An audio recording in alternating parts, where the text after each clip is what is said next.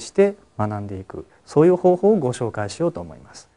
で私自身があの家庭医療を専門にしておりますので今回のお話は主に家庭医総合体内ケア医の先生方を対象にしております。もちろん他の先生方でも、えー、応用していただける場合など応用していただけたらと思います。